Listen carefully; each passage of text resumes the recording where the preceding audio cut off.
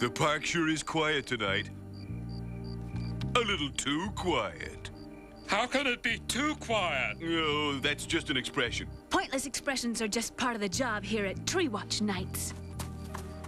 How come that lady's wearing a bikini at night? Sometimes you win, sometimes you lose. Huh?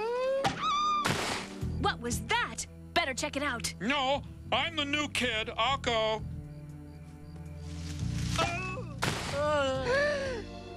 I sure hope he's all right. I suppose you could say that. Maybe I should go look around. No, I'm in charge. You go. Ah! Oh no. Gimme? Gimme? Uh, Gimme! Dang, it's darker than a beach bum's. D- what the? Oh! How the heck did this happen? TW1, code green, three down, hut! Must get help. oh! We interrupt this program for a TCC news bulletin. This just in. There's been no change in the terrorist chase. The management just wanted you to see their expensive 3D chrome logo. Shameless, isn't it? Now you can own your very own copy of today's maniac terrorist chase, the bone-churning speed bump incident, the heart-twisting bagpipe exchange, all the way up to, but not including, the fiery bomb-soaked conclusion. Send $12.99. Uh, make that $25.99 to get your piece of history today. No, Timmy, don't leave your car. Your puppy has to what? No, I don't think it'll stain. Good, hang on. This is the worst thing I've done since I introduced Milli to Vanilli. I'm the lowest of low. I hate myself. Oh, don't do that. That's God's job. I must find some way to save Timmy. But how? Oh, oh, you preempt tree watch for this silly chase? I am outraged. Outraged! And I am more than outraged. I'm. I'm. Miffed? Addled? Drunk? No! I'm incensed! Ooh, good word. You interrupted my best scene. What's the point of being a hero if nobody sees it? Hmm? Yes, yes, shut up. This is no time to be discussing Tree Watch. Tree Watch, of course. Brock, I have a new Tree Watch scene for you. A scene unprecedented in the annals of filmdom. Are we allowed to say annals? Run, get into your Breck Hamill costume. We are shooting the finale right now, live in the parking lot. Yes! Once again, whining and complaining pay off big. Hey! What about me? What do I get? Huh? Huh? Uh, 10% more than Brock? Deal. See ya.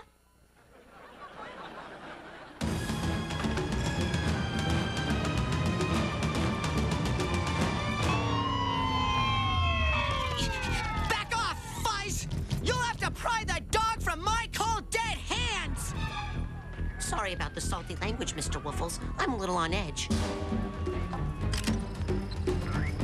I have the perp in my sights. Just don't harm Wuffles. He's the brains of the outfit. Should I take the kid out? Everything's gonna be A-OK. Uh, what the heck? Take him out. What the? Hey! It's Breck Hamill. From Tree Watch? No way, let me see. Don't fire! Team Tree Watch is on the job. We'll hand these dirty turco scotchies over to the proper authorities.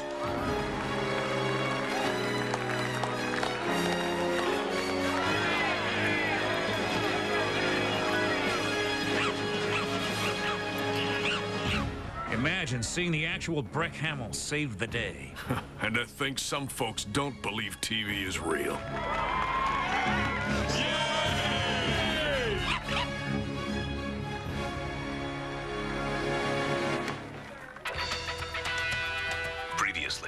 Chicago Hype. Billy, I have to talk to you. It's about our baby. Not now, Diane. Can't you see I'm in the middle of someone? Hi, I'm Dr. Austin. Your operation was a complete success. You mean you got rid of the antlers? Oh, right. The antlers. Oops, there goes my beeper. Philip, I made up my mind. I don't want to be a shrink or a brain surgeon. What I really want to be is. Ooh. An exotic dancer! Watch me work. And now, the even more implausible season finale of Chicago Hype. My God, Aaron. This memo says one of our doctors is actually a space alien. Who? The gambling playboy? The feminist astronaut surgeon? The openly gay heart of gold black guy? Who? So it's you. It's you, Doc. We interrupt this program for, ah, you know. George Heinlein here with a shocking story of fraud and deception at the highest levels. At first, I was suspicious with that Turco Scotch crap. But when Breck Hamill, a fictitious character, saved the day, I mean, really, people, are you mindless, gullible fools? The fiends behind this hoax are none other than our own. We interrupt this bulletin for a TCC exclusive. Teeny Bikini Fish Fry.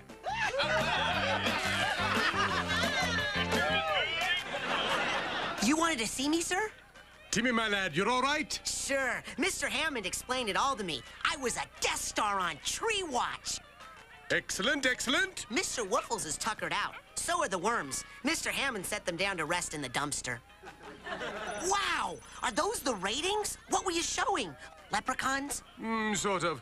Listen, boy, even high ratings are nothing compared to the well-being of our little Timmy. Ah, oh, jeez. I feel as if I'm supposed to give you a hug now. This is a conspiracy. I'm phoning my lawyers. I'm phoning Woodward and Bernstein. I'm phoning Oprah. Hey, what's wrong with Mr. Heinlein? Sour grapes, Timmy, sour grapes. Oh, you mean hemorrhoids. My Gramps has them too. Hmm, yes. But what do we care? We're young, and what's more, we're in the middle of a teeny bikini fish fry. Dance, I command you. Dance! hey,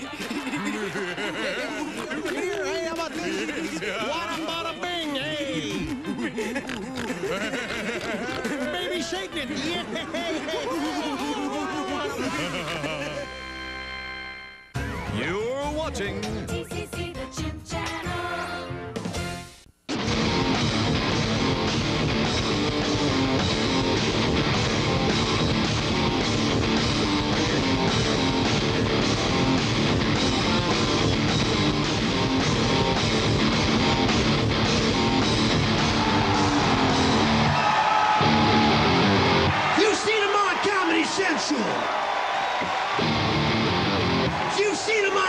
Saturday Night Live.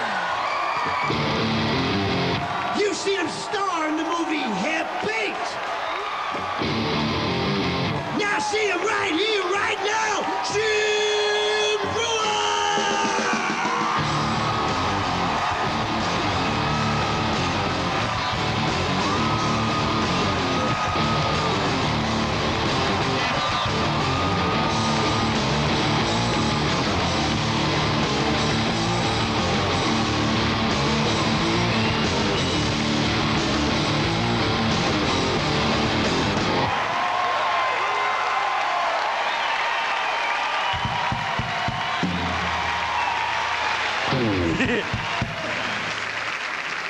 Good to have you. Man, that's fun.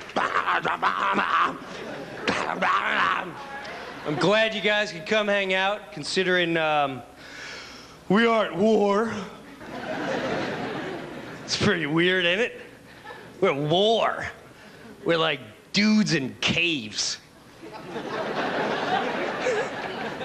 we're fighting like Star Wars, like the Sand People we're fighting.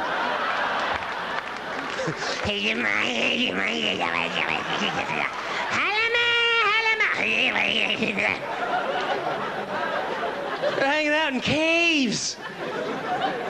They got a stink. Bats are hanging out in the walls. Go that way, man. Osama bin Laden just hanging out with a dirt and stick. Okay, you go that way. You go that way, and then stay here, huh?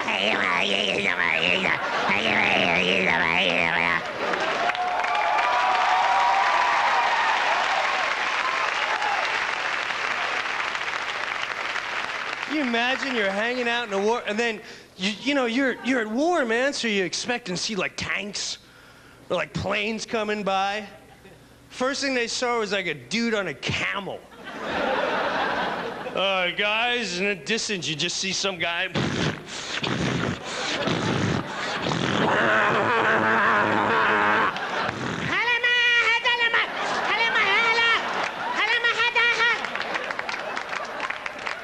got a guy in a camo. I don't. He's not talking English, man. I don't know what's up. Is he with us or them? What's up? We got a camo. Shoot him, man. What are we doing? Talk English, Hammer. we get that technology. You see that? Like when we first started bombing them. There's just dudes with controllers. To the right, to the right! I hit a village, man. My joystick sucks. Let me try yours.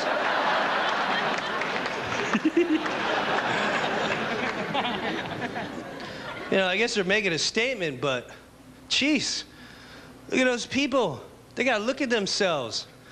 They got no sexual drive over there, no love. What can every human being needs a sex drive? Keep it going. This is the Taliban sex drive. That's that's the chicks.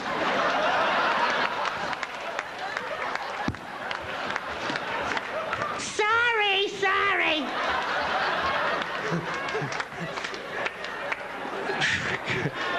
What kind of dating is that? Here comes your date.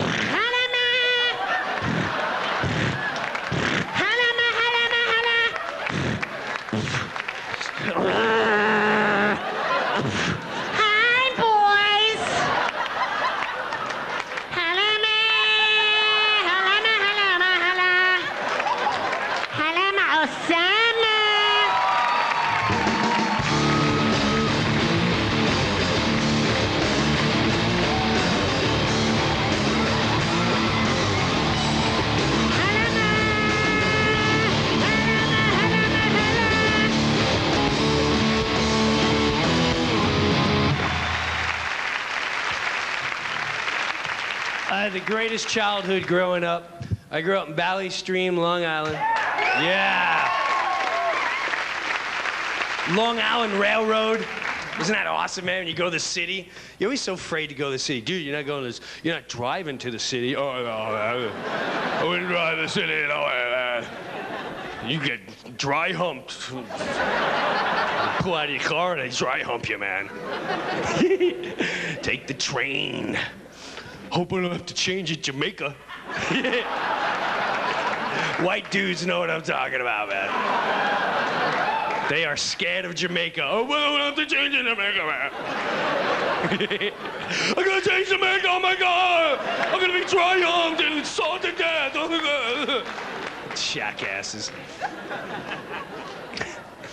But Valley Stream, Long Island, I used to love playing stickball. I never see kids playing out in the street anymore. We would play outside all day long. What was cool about my neighborhood, there was like about 10 of us growing up together. It was like the Little Rascals meets Goodfellas, you know?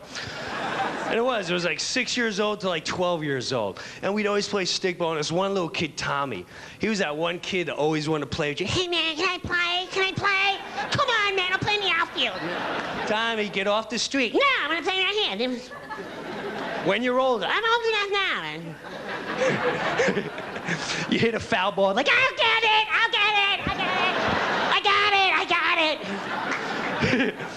it'd go in the sewer. Tommy'd be like, I'll go in the sewer. and you dangle him by his feet. I got it. I'm almost there. I got it. Rats. Get out of here. I'm not afraid. But we had this, this one field where we played. We had this dog, Duke. You know, the one dog on the block, and it was a big, long yard. And Duke was the dog that was nasty. You knew if he got out of that fence, you were gone. But you tease him to death knowing he can't. You drive on your bike past his gate. Shut up.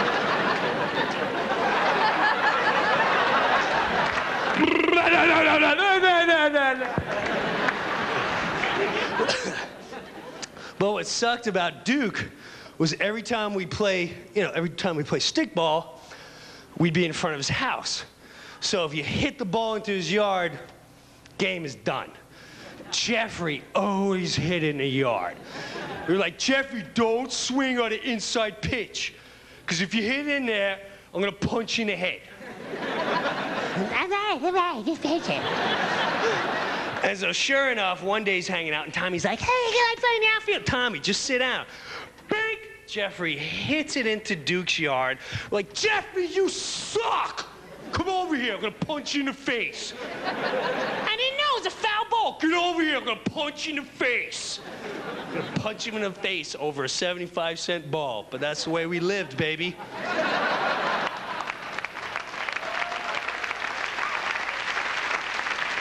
He shouldn't have swung at an inside pitch. but the worst was, so now the ball goes in, and Tommy's like, before we can say anything, I'll get the ball! Like, Tommy, no! And he hopped over. And he starts running into the yard. I swear to God, I'm not even lying to you. And he starts running in, and Duke is nowhere to be found. We're like, Tommy! Tommy, watch out for Duke. Duke's get out of the yard. Get out of the yard. I got the ball! I got the ball! Tommy! He turned around and Duke saw him. Duke went, What's up? Start running, Dick. I swear to you, now Tommy's only six years old, man. He's only this big. And he starts booking it. It's like a movie. He's like, and we're like, Tommy, come on, hurry up, throw the ball over. Hurry up, hurry up, throw the ball over. Hurry up. Tommy's running. Duke, I swear on my life, I was never so scared in my entire life. Duke is not even barking. He's just at this. I'm gonna eat you to pieces and then crap on your face when I'm done. And I swear to you, Tommy's running. I got my hand out. Tommy, come on! Tommy, it was it was like a movie. On my life, he slipped, and like his face hit the fence. We're like, oh no! And we all backed away because here's Duke. Duke comes running up and he stops right in front of Tommy. And I swear to you, it was the scariest moment in my life. I was already figuring out how am I, how am I gonna forget it? All I can do is watch.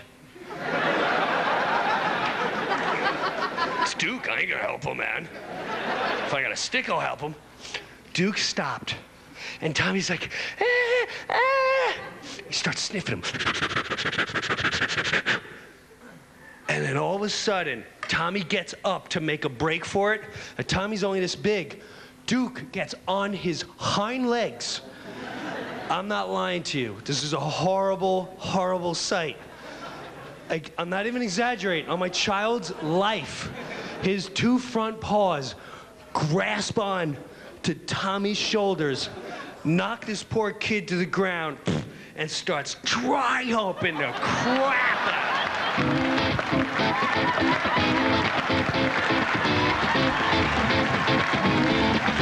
And this is like Tommy running. He likes me, he's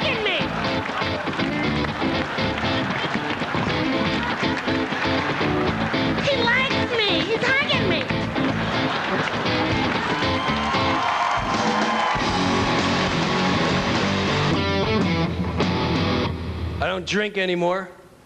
Well, I do.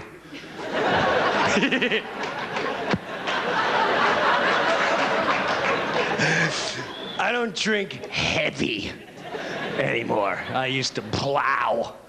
Plow. I used to drink mind erasers. You ever hear them? Ugh. Don't know what I was thinking. is like vodka, Kahlua, and soda water in a glass like that with a straw, and you have to suck it down as quick as possible.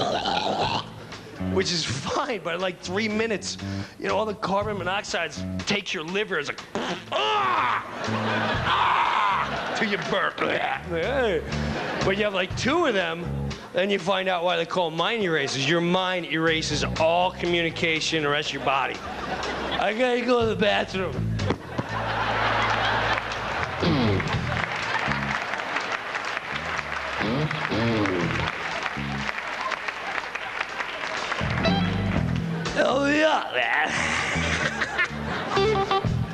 But to me, you know, if you drink and you're over 21, you get hammered, it's goofy. You're dead drunk, man. I'm that guy too, I have to tell you. I was wasted, man. Are you guys wasted like me? Cause I'm wasted. You're not wasted? How can you not be wasted? Cause I'm like, okay, let's say this is hammered. Let's say this is like, whoo, look out. And let's say this is wasted. I'm like, look out, Hammer. Take your shirt off. But to me, the only time when drinking is fun, which it is fun, is when you're a kid. And I mean by that is like 15, 16, because then it's like an Olympic event. There's all these little rules and stuff. Starts right away at your mother. Come here. Who are you hanging out with? Now, these friends you're hanging out with, I don't like them. Do you understand me? They don't even introduce themselves. They just drive right up and beat the horn. Ma, they do not. You don't even finish the sentence.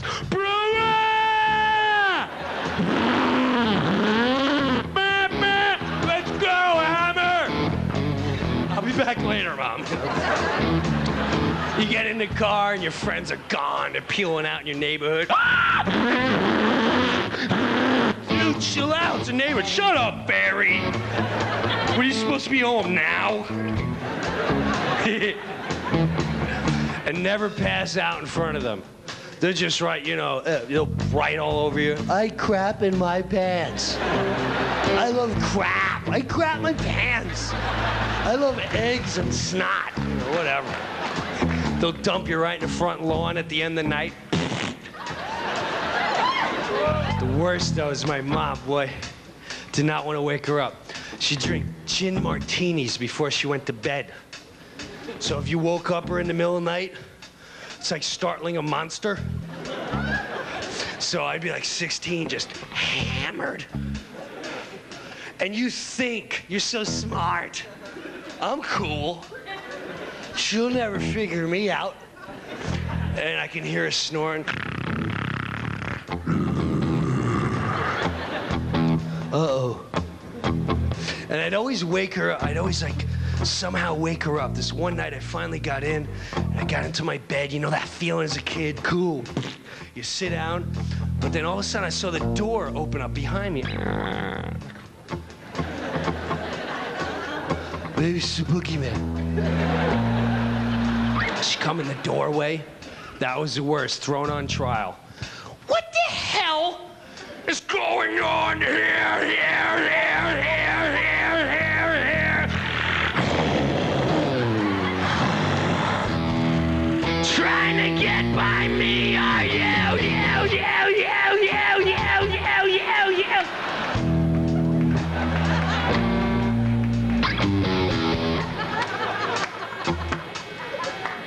Hey, Mom.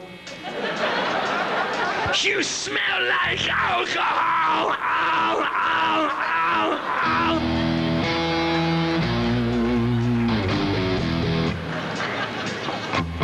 How do you do that echo?